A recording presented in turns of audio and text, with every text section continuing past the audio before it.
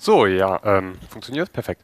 Ähm, herzlichen Dank auch von meiner Seite an die Organisatoren der Grazer Linux-Tage und auch an das Labor für Molekularpathologie äh, für die Einladung hier. Mein Name ist Max Mehl. Ich arbeite für die Free Software Foundation Europe und werde heute ein bisschen reden über dieses Spannungsfeld zwischen IT-Sicherheit und freier Software. Ähm, was ja an sich vielleicht so ein bisschen konträr ist freie Software als sehr offen, als sehr transparent, äh, transparent, Sicherheit als irgendwie Geheimnisse und irgendwas, was man schützen muss. Wie passt das zusammen? Dazu werde ich erstmal ein bisschen was generell sagen zur IT-Sicherheit. Was ist dafür ausschlaggebend, meiner Ansicht nach? Dann ein bisschen dazu, wie freie Software dazu beitragen kann, in welcher Art und Weise, aber auch ein bisschen die Abwägungen, auch vielleicht die negativen Seiten. Wo kann freie Software, wo kann das irgendwie vielleicht nicht funktionieren? Oder was muss man daran bedenken? Und ganz zum Schluss gehe ich auf ein relativ aktuelles Beispiel ein, um das irgendwie zu verdeutlichen. Aber zuerst, damit ihr mich, uns irgendwie einordnen könnt. Ähm, ich arbeite für die Free Software Foundation Europe und wir sind ein gemeinnütziger Verein, der sich in ganz Europa dafür einsetzt, dass Menschen ihre Technik kontrollieren können. Was heißt das denn, Technik kontrollieren? Also Technik, das sind ja Computer und Smartphones, aber es geht auch irgendwie um Smart TVs, um Sprachassistenten, die uns äh, zu Hause zuhören, um Fernbedienungen vielleicht sogar. Also diese Technik wollen wir eigentlich kontrollieren. Wir möchten gerne wissen, was läuft darauf und vielleicht auch sicherstellen, dass sie sicher ist. Schönes Stichwort. Ähm, die meisten von euch werden vielleicht auch schon wissen, was freie Software ist, denn das ist unserer Ansicht nach das, was Menschen ermöglicht, äh, ihre Technik kontrollieren zu können. Ich werde es trotzdem noch mal kurz durchgehen, ähm, als kleine Erinnerungsstütze, was freie Software ist. Wir reden hier von vier elementaren Freiheiten, die uns diese Software geben muss, die wir als Nutzerinnen und Nutzer haben müssen. Die erste Freiheit ist, die Software verwenden zu können für jeden Zweck. Das heißt, egal ob privat, ob kommerziell, ähm, unbegrenzt lang. Also bei freier Software gibt es nicht so etwas wie eine 30-Tage-Testversion. Die haben wir oder die haben wir nicht. Die zweite Freiheit ist die Freiheit des Verstehens. Wir haben also den Quelltext der Software. Wir können quasi dieses Rezept nachvollziehen, die Methoden, wie Software funktioniert, was sie mit den Daten macht, wo was hingesendet wird. Mm. Das ist elementar, damit wir überhaupt verstehen können, was passiert. Die dritte Freiheit ist die Freiheit des Verbreitens, des Teilens. Das heißt, Software kann unbegrenzt kopiert werden, weitergegeben werden, selbst wenn der ursprüngliche Hersteller der Software die vielleicht aus irgendwelchen Gründen gar nicht mehr vertreibt. Und die letzte Freiheit, die vierte Freiheit, ist die Freiheit des Verbesserns.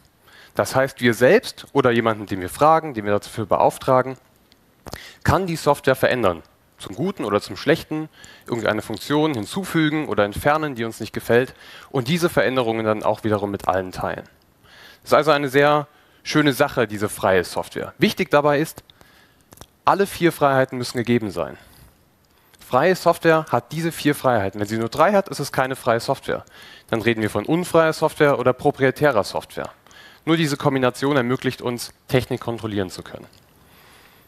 Und um das auch nochmal klarzustellen, es gibt ja auch diese anderen Begriffe, Open Source, Libre Software, FOSS, FLOSS.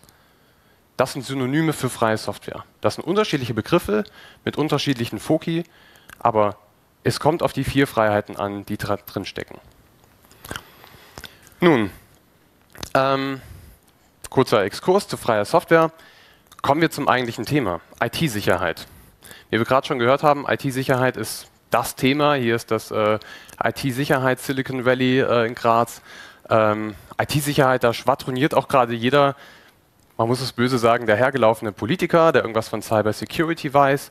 Alle zwei Monate werden irgendwelche äh, Institute und äh, Behörden gegründet, die sich um IT-Sicherheit, um Cyber Security, um Cyberterrorism kü kümmern müssen. Was ist das eigentlich? Warum ist das so relevant? Und wie kann man IT-Sicherheit verstehen? Ich habe mir eine Definition rausgesucht, die wahrscheinlich die einfachste ist und zugleich vielleicht die komplexeste. Und zwar stammt sie von diesem sympathischen Herrn. Äh, einige von euch werden ihn vielleicht kennen. Das ist Bruce Schneier. Bruce Schneier ähm, ist studierter Informatiker, Kryptographie-Experte, hat schon mehrere Bücher zu dem Thema veröffentlicht. Und bereits im Jahr 2000 hat er folgenden schönen Satz in seinem Buch Secret and Lies geschrieben. Security is not a product. It itself is a process. Also Sicherheit ist kein Produkt, es ist ein Prozess, um den es sich handelt. Das heißt, Sicherheit ist kein Label, was wir irgendwo draufklatschen können.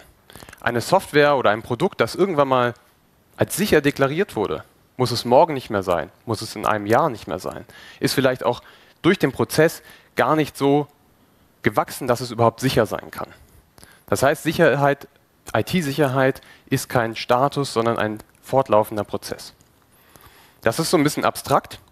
Ich würde aber gerne mal ein bisschen reinschauen, was sind diese Prozesse oder was sind die Komponenten, die irgendwas mit IT-Sicherheit zu tun haben. Da gibt es die relativ offensichtlichen. Die können wahrscheinlich neun von zehn Leuten auf der Straße ebenfalls runterbeten, weil das so oft in den Medien kam. Da gibt es Codefehler. Das heißt, menschliche Fehler, Leute, die irgendwas falsch programmiert haben. Das heißt, es ist eine Lücke im Softwarecode drin, die ausgenutzt werden kann für irgendwelche Zwecke. Oder eine Programmiersprache, die eher dazu anregt, Fehler zu machen oder gewisse Fehler nicht zu lösen. Dann gibt es Sachen wie Verschlüsselung, das heißt fehlerhaft implementierte Verschlüsselung oder vielleicht ein Algorithmus, der schon längst geknackt wurde. Das heißt, es ist nicht sicher, dass nur Sender und Empfänger die Nachricht entschlüsseln können, sondern vielleicht auch andere Leute. Und natürlich gehört auch Fehlerbehebung dazu wenn eine Lücke gefunden wurde in einer Software, was ja regelmäßig passiert, denn es gibt keine hundertprozentige Software, äh, Sicherheit, dann muss dieser Fehler natürlich auch behoben werden. Das erwarten auch Leute, äh, irgendwelche Windows Security Patches. Auch davon liest man ja ständig. Aber gehen wir eine Ebene tiefer. Was gibt es noch für Komponenten? Zum Beispiel Bibliotheken. Und damit meine ich jetzt nicht die, in denen äh, Bücher drin stehen, sondern irgendwelche Bausteine, die man sich vielleicht von anderen Firmen, Programmiererinnen und so weiter borgt. Das kann zum Beispiel sein, dass in einer Software, die ich baue, hole ich mir eine Komponente hinzu, eine Bibliothek, die sich um den Mailversand kümmert. Das ist großartig, weil da muss ich gar nichts mehr selbst dazu programmieren. Aber auch da können natürlich Sicherheitsfehler drin sein. Auch die können fehlerhaft sein. Das heißt, auch das ist eine Komponente, diese externen Abhängigkeiten. Dann der Faktor Mensch. Was bringt mir die beste Sicherheit der Software wenn ein Mitarbeiter oder ein befreundeter Programmierer, der irgendwie Zugang dazu hat, alle Kundendaten rausgibt, alle Passwörter preisgibt, dann bringt mir die beste Software-Sicherheit gar nichts. Und zum Schluss auch sowas wie Customization. Das heißt, wenn ich als Firma zum Beispiel Anpassungen mache für einen Kunden, dann habe ich nicht mehr nur eine Software, die ich vertreibe, sondern zwei. Die muss ich natürlich auch dementsprechend warten. Das heißt, ein Fehler, der in der einen gefunden wurde, muss in der anderen auch behoben werden. Vielleicht ist durch die Anpassung auch erst ein Softwarefehler möglich geworden, ein Sicherheitsfehler. Und dann gibt es die ganz fiesen Details. Strategische Entscheidungen. Wenn ein Routerhersteller sich entscheidet, einen gewissen Datei aus, ein gewisses Dateiaustauschformat zu unterstützen, um einen gewissen Kundenstamm nicht zu verlieren, dieses Format oder diese, ähm, diese Software, die dahinter steckt, aber sehr sicherheitsanfällig ist, vielleicht sehr alt ist, dann baut man sich aus einer Firmenentscheidung heraus ein Sicherheitsrisiko ein. Das muss nicht unbedingt schlecht sein, das kann eine sehr valide Entscheidung sein. Aber auch das ist ein Faktor davon, dass quasi Managemententscheidungen Sicherheit beeinflussen können. Sowas wie Supportzyklen, wie lange wird ein Produkt überhaupt unterstützt? Ein Monat, zwei Jahre, zehn Jahre, was passiert danach? Oder auch solche Fragen wie Haftung. Was passiert überhaupt, wenn aufgrund meines Fehlers irgendwo anders Schaden entsteht. Das sind keine Antworten hier, das sind einfach nur kleine Ausschnitte, kleine Prozesse, kleine Teile, die was mit IT-Sicherheit zu tun haben. Das heißt, zeigen, wie komplex das Ganze ist. Nun, wie kann jetzt hier freie Software einen Vorteil bieten? Funktioniert das so? Wir klatschen einfach eine GPL-Lizenz drauf oder eine der Dutzenden anderen freie Software- und Open-Source-Lizenzen und dann ist eine Software sicher? Vermutlich nicht, ne? Ich glaube vielmehr, dass freie Software in diesem Zusammenhang ebenfalls kein Produkt ist. Klar ist die Lizenz sicher, aber das ist kein Label, was ich draufklatsche und dann ist plötzlich alles sicher und alles besser und die Qualität steigt und pipapo. Sondern freie Software an sich ist auch ein Prozess. Beziehungsweise freie Software fördert gewisse Prozesse, die vorteilhaft sind für Sicherheit. Ich habe mal vier dieser Vorteile rausgesucht, von denen ich glaube, dass sie am relevantesten sind. Es gibt sicherlich noch mehr. Der erste wäre, freie Software Transparenz für alle. Das heißt, für die Leute, die freie Software nutzen, die sie programmieren, in einer Firma auch für alle Mitarbeiter, jeder kann diesen Code sehen, jeder kann daran mitarbeiten, unabhängige Sicherheitsüberprüfungen sind möglich und man muss sich nicht darauf versteifen, den Source Code der Software geheim zu halten. Transparenz ermöglicht dabei eine routiniertere, eine bessere Sicherheitsüberprüfung in vielen Fällen. Also wie gesagt, das sind Potenziale, ja, das ist kein Automatismus. Dann hat natürlich freie Software auch irgendwie sowas wie einen Druck von außen wenn, also ich, ich bekomme das ganz oft mit, wenn ich mit, äh, mit Firmen oder auch mit einzelnen Programmiererinnen spreche und sie frage, warum ist eure Software eigentlich keine freie Software? Und da kommen dann manchmal so Antworten wie, ja, freie Software ist ja schön, die würde ich ja gern machen, aber den Code, den kann ich so nicht ins Internet stellen. das wäre mir peinlich. Ja. Also, uh, die eine, der eine Teil da, nee. Wo man sich natürlich fragen kann, Warum zur Hölle veröffentlichst du dann überhaupt deine Software? Wenn die Qualität so grauenhaft ist, dass du sie niemandem zeigen kannst, warum schiebst du dann deine Software irgendwo ins Internet? Ich glaube also, dass freie Software ein gewisses Druckmittel sein kann, auch ein positiver Druck sein kann. Dann schaut man sich vielleicht nochmal genauer an, was man da eigentlich jetzt gerade auf GitHub hochstellt oder auf ein anderes Verbreitungsmedium. Freie Software an sich ist auch sehr kollaborativ. Wie gesagt, das ist transparent. Man kann alles teilen, man kann zusammen an Projekten arbeiten. Und durch diese Zusammenarbeit entstehen auch gewisse Synergien. Wenn jetzt zum Beispiel zwei Firmen, zwei Behörden, zwei Länder oder mehrere davon oder einfach eine Community zusammen an einer Software arbeitet, dann gibt es nicht mehr nur einen blinden Fleck, dann, der dann bei einer Programmiererin liegt, bei einer Firma, sondern jeder steuert seine Mittel dazu bei, jeder steuert seine Perspektive dazu bei. Und ich bin überzeugt davon, dass das förderlich ist für IT-Sicherheit oder förderlich sein kann. Das kann natürlich auch Nachteile mit sich bringen, dazu später. Aber die Potenziale gibt es nur mit freier Software. Und last but not least, Unabhängigkeit. Ich bin nicht mehr abhängig von einem einzelnen Hersteller, wenn es um Sicherheitsprobleme geht, sondern kann sie zur Not auch selbst lösen. Oder ich kann jemanden beauftragen, der sie lösen kann. Und wenn sich ein Produkt, eine Software komplett in die falsche Richtung bewegt, dann kann ich zur Not auch dieses Projekt alleine weiterführen, ein Fork machen oder mir andere suchen, andere Verbündete, die dann dieses Projekt weiterführen. Das heißt, diese Unabhängigkeit sorgt wieder für, ein, für eine Entlastung, aber auch für einen gewissen Druck auf den ursprünglichen Hersteller. Man hat es also selbst in der Hand, man ist nicht, ist nicht auf Gedeih und Verderb von einer Person, von einem Akteur abhängig. Das heißt, zusammenfassend ist meine Theorie, dass freie Software eine notwendige, aber nicht hinreichende Komponente ist für gelungene IT-Sicherheit. Notwendig, weil ich fest davon überzeugt bin, dass nur mit freier Software die höchsten Potenziale von IT-Sicherheit ausgenutzt werden können. Durch die Transparenz, durch die Kollaboration, durch die Unabhängigkeit. Aber es ist nicht hinreichend. Das heißt, einfach nur es freie Software zu machen und dann vielleicht auch noch sein freies Softwaremodell gut zu machen, reicht nicht aus. Die anderen Prozesse, die ich genannt habe und auch die, die es zusätzlich gibt, die nicht in diesen Vortrag reinpassen, sind genauso wichtig. Es ist eben eine Komponente, ein Weg dahin, eine möglichst optimale IT-Sicherheit zu ermöglichen. Natürlich gibt es auch Abwägungen, vielleicht sogar Nachteile von freier Software, wenn es um IT-Sicherheit geht. Das eine sind Zuständigkeiten. Ja, jetzt arbeiten zwei Firmen oder drei Behörden miteinander, vielleicht grenzüberschreitend an einem Projekt. Das passiert gar nicht so selten. Wer ist aber zuständig für IT-Sicherheit? Wer ist dafür verantwortlich, irgendwelche Bibliotheken, die genutzt werden, auf Sicherheit zu überprüfen? Wie wird damit umgegangen? Ja, das heißt, je mehr Akteure mit dabei sind, desto schwieriger wird diese Koordination. Der Grad der Wiederverwendung ist eine interessante Frage.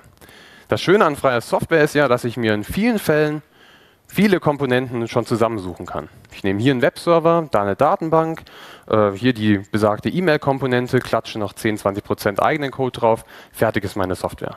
Das ist großartig. Ja? Das ist ja das Schöne an freier Software, dass wir schon auf den, auf den Schultern von Giganten stehen können und irgendwie uns immer weiter innovativ nach vorne bewegen können. Aber es bringt natürlich auch Nachteile mit sich. Ich habe dann plötzlich sehr viele externe Abhängigkeiten, Sachen, die ich nicht, nicht einsehen kann. Und da ist es vielleicht auch eine Überlegung zu sagen, na gut, dann baue ich mir halt alles selbst zusammen. Ja, ich brauche nicht die riesen E-Mail-Komponente, vielleicht programmiere ich mir einfach mit ein paar Zeilen selbst was zusammen und habe dann die Kontrolle drüber, was natürlich den Nachteil bringt, dass ich dann alles selbst untersuchen muss. Ich habe kein externes Know-how any. Das heißt, auch das ist eine Abwägung, die getroffen werden muss, wenn es um ein freies Softwareprojekt geht. Dann gibt es das schöne Stichwort nationale Sicherheit. Ja. Äh, und das ist eine komplizierte Frage. Gibt es Software, die besser nicht als freie Software veröffentlicht werden sollte? Gibt es Software, die vielleicht überhaupt nicht existent sein sollte, beziehungsweise wo keiner so wirklich wissen soll, dass sie tatsächlich existiert? Ja, so Stichwort militärischer Bereich. Das ist eine extrem hakelige Frage, denn ja, muss jetzt der Code von einer Kampfdrohne, muss der jetzt freie Software sein? Müssen wir den im Internet finden können? Muss jemand, sollte jemand davon überhaupt wissen? Und ist es dann sicherheitsfördernd oder eher unsicherheitsfördernd? Keine Antwort, aber wiederum eine, eine interessante Abwägung. Allerdings muss man natürlich sagen, das ist ein Bruchteil von der Software, die überhaupt existiert. Auch ein minimaler Bruchteil von der, die irgendwie öffentlich finanziert wird. Das heißt, sich auf solche Argumente zu berufen, das kann wirklich nur in Ausnahmefällen überhaupt relevant sein. Und auch hier wieder, es gibt andere Komponenten, die, sicher, die wichtig sind für Sicherheit. Freie Hardware zum Beispiel. Ja, auch in Chips können Hintertüren drin sein. Auch die können Unsicherheit fördern. Reproduzierbarkeit ist wichtig, dass ich ein Binärpaket, ein Paket, das ich mir irgendwo runterlade von einem Hersteller, von einem Projekt, auch mit dem Source Code übereinstimmt. Ja, Stichwort Reproducible Builds. Und natürlich auch die anderen Sicherheitsprozesse, die bereits genannt wurden. Also wiederum, freie Software ist eine Komponente, aber kein Allheilmittel. Jetzt eine kurze Hitlist der schönsten Gegenargumente, auf die man so trifft. Da gibt es zahllose, keine Frage. Ich habe mal die rausgezogen, die am häufigsten kommen und die ich auch selbst am interessantesten manchmal finde. Freie Software nur bei nicht kritischen Dingen. Das hört man oft so im politischen Umfeld. In Koalitionsverträgen ist das sehr schön immer abzulesen bei diesen äh, Absichten, die dort reingeschrieben werden. Ja, wir gehen Richtung freie Software, aber natürlich nur bei nicht sicherheitsrelevanten Sachen. Was? Das Gegenteil sollte der Fall sein. Also das habe ich, glaube ich, hoffentlich in den letzten 20 Minuten klar gemacht, dass gerade da, wo kritische Infrastruktur stattfindet, genau da, wo sehr viele Leute daran interessiert sind, genau hier holt freie Software alle Potenziale raus. Das heißt, die Transparenz, die offenen Prozesse erhöhen das Vertrauen der Bevölkerung. Und gerade da, wo viele Interessen dabei sind, wo es wenig blinde Flecken gibt, beziehungsweise sehr viele verschiedene Mindsets, die daran mitarbeiten können, ist freie Software wichtig. Auch oft gehört, ja, wenn jetzt mein Quelltext im Internet steht von meiner Software, dann kann ja irgendjemand, Kriminelle, ausländische Geheimdienste, die Illuminati, können dann darin meine Sicherheitslücken entdecken. Dieses Prinzip Security through Obscurity, also Sicherheit durch Geheimhaltung, wurde mittlerweile dutzende Male theoretisch wie auch praktisch widerlegt. Quelltext ist in vielen Fällen gar nicht wichtig, um Sicherheitslücken zu finden. Der kann oft rekonstruiert werden, oftmals ist er gar nicht erst nötig, um irgendwelche Fehler aufzudecken. Im Gegenteil, man verwendet als derjenige, diejenige, die die Software publiziert, so viel Energie darauf, diesen Quelltext geheim zu halten, dass man sich gar nicht mehr richtig auf die IT-Sicherheit, auf das Eigentliche konzentrieren kann. Hier gilt eher Kerkhoffs Prinzip. Der hat schon im 19. Jahrhundert aufgestellt, das war bezüglich Verschlüsselung damals, dass die Methode, wie Sicherheit stattfindet, also wie eine Verschlüsselung stattfindet, öffentlich sein sollte. Das heißt, je weniger Geheimnisse, desto besser. Aber das ist natürlich der Schlüssel dazu. Der Schlüssel, um irgendwie was zu übertragen. Oder auf Software übersetzt, die Daten, die Passwörter. Die sollten natürlich nicht öffentlich sein. Das heißt, darauf kann man sich konzentrieren, die geheim zu halten. Das heißt, dieses Argument, dass der öffentliche Quelltext ein Risiko darstellt, greift wirklich in den allerwenigsten Fällen. Dann auch oft gehört, freie Software ist nur was von und für Hobbyisten. Ja, das sind nur irgendwelche Leute, die im Keller was programmieren. Ähm, totaler Schwachsinn. Äh, der Linux-Kernel wird zum größten Teil von Leuten weiterprogrammiert, die alles andere als Amateure sind, die in großen professionellen IT-Firmen sitzen, von denen kann man denken, was man will, aber das sind beileibe keine Amateure.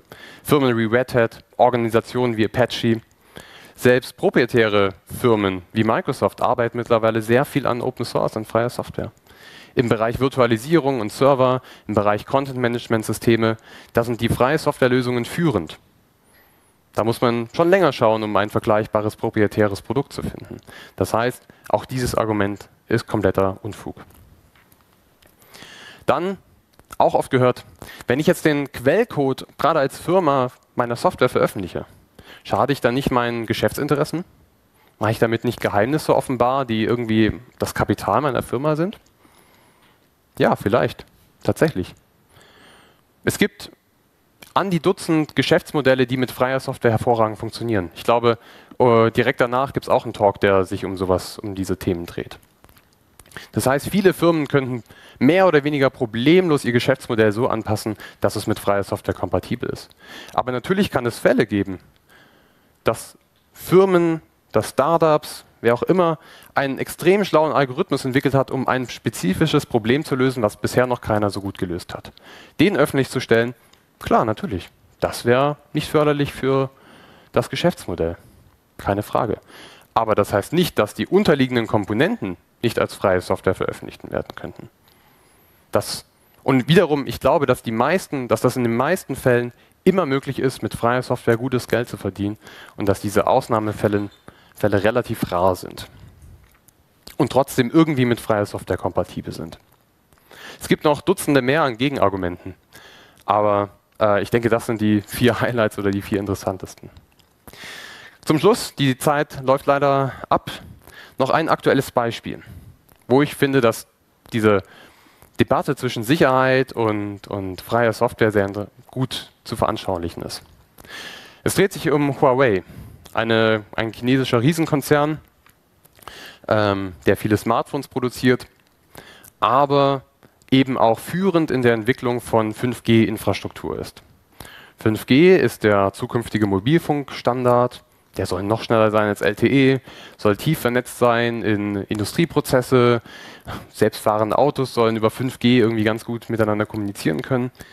Ist also relativ wichtig, relativ, soll eine sehr kritische Infrastruktur werden, so wie eigentlich alles, was mit Kommunikation zu tun hat. Und da ist das Problem, dass US-Geheimdienste und die US-Regierung davor gewarnt haben, Huawei würde Hintertüren einbauen für den chinesischen Staat und quasi damit komplette Nationen lahmlegen können, ausspionieren können, die Huawei-Hardware in ihr 5G-Netz einbauen würden. Und das ist eine sehr interessante Frage, wie man damit umgeht. Denn das ist natürlich ohne Frage eine kritische Infrastruktur. Sehr viele Leute sind daran interessiert. Das kann natürlich enorme schlechte Auswirkungen haben, wenn hier spioniert wird, wenn hier was lahmgelegt werden kann. Und zugleich gibt es natürlich auch viele andere Netzwerkausstatter, viele andere Firmen, Cisco, Ericsson, die auch in diesem Markt beteiligt sind, die auch ihre Interessen haben, wo auch Berichte darauf schließen lassen, dass gewisse Firmen auch schon für ihre heimischen Geheimdienste Hintertüren eingebaut haben. Nun, wie kann freie Software hier eigentlich helfen? Freie Software fördert Vertrauen. Wir machen uns so viele, oder medial wird sich so viel Gedanken darum gemacht, wie können wir Vertrauen herstellen? Freie Software könnte das. Das heißt, würden wir davon ausgehen, dass alle 5G-Ausrüster ihre Software als freie Software veröffentlichen könnten. Wären unabhängige Sicherheitsüberprüfungen möglich? Behörden könnten sich die Arbeit aufteilen. Warum machen die österreichischen, die deutschen, die französischen, die kanadischen, die polnischen Sicherheitsbehörden, warum schauen die sich, zertifizieren die diese Hardware und duplizieren unglaublich viel Arbeit? Hier könnte man sehr viel Arbeit aufteilen. Was ich noch interessanter finde, ist der Aspekt der Konkurrenz. Wie schön, also diese Firmen, ja, diese drei, vier großen Player, könnten sich gegenseitig kontrollieren. Die haben ungleich mehr finanzielle Ressourcen wahrscheinlich. Und wie schön wäre es denn, eine Hintertür in dem Produkt des Konkurrenten zu finden. Hier wäre also irgendwie eine gegenseitige Überprüfung möglich. Aber natürlich ist es genauso wichtig, andere Komponenten oder andere Teile äh, von Sicherheit zu bedenken. Reproduzierbarkeit, ja, dass wiederum der, so die, der Quellcode nicht äh, überprüft werden kann oder verglichen werden kann mit dem Binärpaket. Freie Hardware wäre sehr interessant in dem Bereich. Ist das unrealistisch? Ja, vermutlich schon. Vermutlich jetzt für diese aktuelle 5G-Debatte sind wir zu spät dran. Aber ich glaube, dass es mittel- und langfristig sehr relevant werden kann, hier auf freie Software zu setzen. Wir haben das auch schon als Feedback gehört auf einer Pressemitteilung, die wir äh, Anfang Februar veröffentlicht haben dazu, dass selbst aus Ministerialsicht Leute sagen, ja, das ist vielleicht eine Lösung für diese andauernden Probleme, die wir haben, wenn Infrastruktur immer kritischer wird und Sicherheit immer wichtiger wird. Ich würde euch dazu einladen, euch bei den nächsten Debatten, bei den nächsten medialen Erscheinungen von Sicherheitsproblemen, euch Gedanken darüber zu machen, hätte freie Software hier helfen können? Oder wie hätte es helfen können? Denn die werden, diese Probleme werden zweifellos kommen. Und ich glaube, in den meisten Fällen wird man darauf kommen, dass freie Software tatsächlich ein Treiber wäre, um Sicherheit herzustellen oder Sicherheit zu verbessern. Nun, die Zeit ist leider schon vorbei. Ich bedanke mich für eure Aufmerksamkeit. Ich bedanke mich für die Einladung und auch an alle Unterstützer der FSFE. Vielen Dank.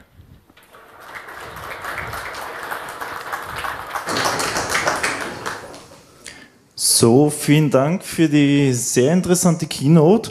Ähm, da die Zeit äh, weit fortgeschritten ist, hätten wir Zeit noch für eine Frage. Ansonsten, ich bin auch den ganzen Tag hier unterwegs. Ne? Äh, sprecht mich gerne an. Vielen Dank für den Vortrag. Ähm, Sie zeigen schön, dass Software-Sicherheit ein Prozess ist. Meine Frage ist, wenn wirklich die Notwendigkeit besteht, ähm, Sicherheit zu kontrollieren und irgendwie zu institutionalisieren, wie sollte das äh, stattfinden, beziehungsweise was wären Ihrer Meinung nach die wichtigsten Punkte, die äh, beachtet werden müssten? Danke. Aus staatlicher Sicht? Beispielsweise. Ich glaube, gerade aus staatlicher Sicht ist erstmal wichtig, die freie Software richtig zu verstehen.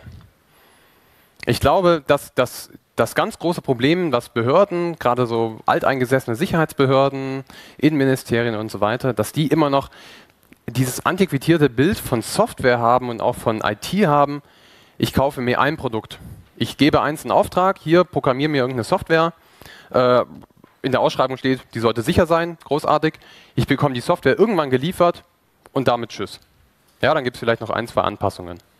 Ich glaube, dass es viele alt eingebrachte Ministerien und, und auch Beamte und vielleicht auch viele Firmen, die die da führend sind, noch nicht verstanden haben, dass Software ein sehr agiler, ein sehr dynamischer Prozess ist und dass eben Sicherheit auch nicht einmal da ist und dann für immer da bleibt, sondern dass es ein stetiger Prozess ist. Und dass diese Prinzipien von freier Software auch noch nicht wirklich verinnerlicht wurden. Also diese Kollaboration, dass Behörden, dass, dass einzelne Firmen miteinander zusammenarbeiten können an, einem, an einer Software, an einer Lösung und irgendwie auch natürlich zusammen das Problem der Sicherheit angehen können. Und ich glaube, dass das der allererste wichtige Schritt ist. Ich glaube nicht, dass es überhaupt nirgendwo passiert. Es gibt tolle Beispiele für Softwareprojekte, wo Kollaboration gut verstanden wird, wo freie Software gut verstanden wird. Aber ich glaube, hier müssten wir noch sehr aufholen als freie Software-Community, aber auch natürlich von der Behördenseite, von der politischen Seite, das besser zu verstehen. Und ich glaube, dann wird auch erst möglich, dass IT-Sicherheit irgendwo verstanden wird und auch so umgesetzt wird, wie ich es jetzt in den letzten Minuten äh, veranschaulicht habe. Genau. Mir wird das rote Plakat leider schon wieder gezeigt.